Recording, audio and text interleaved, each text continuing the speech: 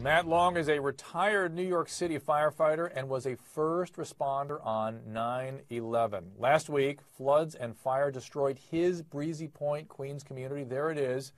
Matt, oh my goodness. How are you and your family doing?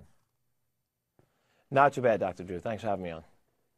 Your attitude is good. You're making me feel better. How do you maintain a positive attitude when I, have seen what people lose? They, they lose their their wedding pictures, the pictures of their family, and, and this just, you know, as you know, all your neighbors lost the same thing. How do you keep such a positive attitude?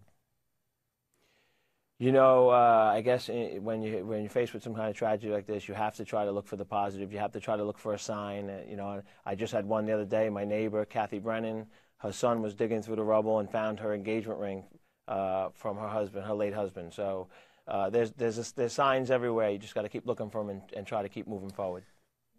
You know, one of the women you, the, my viewers saw earlier on in a tape piece was saying that her kids they lived a very a nice life, and now now they have perspective on that. And they, she said one of her kids said to her, "Geez, we really did have a lot, and now their house is just gone."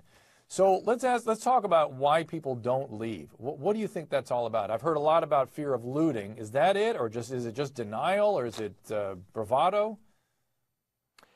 Uh, I think it's a mixture of all three. I think you know, um, you, you, know, it's sad. It's sad that in this life uh, we have to lock our doors. It's sad that when we're asked to leave because of uh, our own safety, that we're afraid that someone's going to come and steal from us.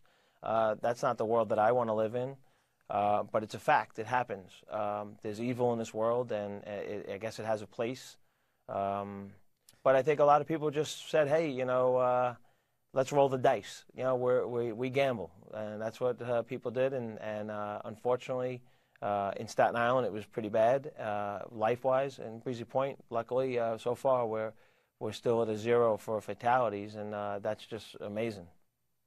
In your case, did you get your kids out in, in on time, or did you have a dramatic story of your own? No, nothing dramatic. I, you know, I, I, was a first responder and I listened to the warning. So I, we left on Sunday evening and um, probably about you know 24 hours a little early, but we left and, and sought refuge in my brother's house and, um, and and and we got out. I know a handful of people that decided to stay and protect their property, thinking that it wouldn't be too bad, uh, and luckily they all got out. What happened to your home? Uh, if you look at those pictures, one of them is mine. Uh, it burned to the ground. Everything we own is gone. Uh, I'm here on your show in, in, donated clothes for the first time in my life, and that's uh, that's that's not a good feeling. No, how, and you you have how many kids? Three, three little girls. And are they okay? Did they react badly to this? Do they understand what's going on? Uh, you know, uh, the the 10 and 8 year old, I think um, they have a good perspective. Uh, their mom does a great job with them, and, and they have a good perspective of what's happening. That that this is a tragedy, and that we only lost things. Um, we're all alive. We're all uh, healthy, and and, and we can get these things back.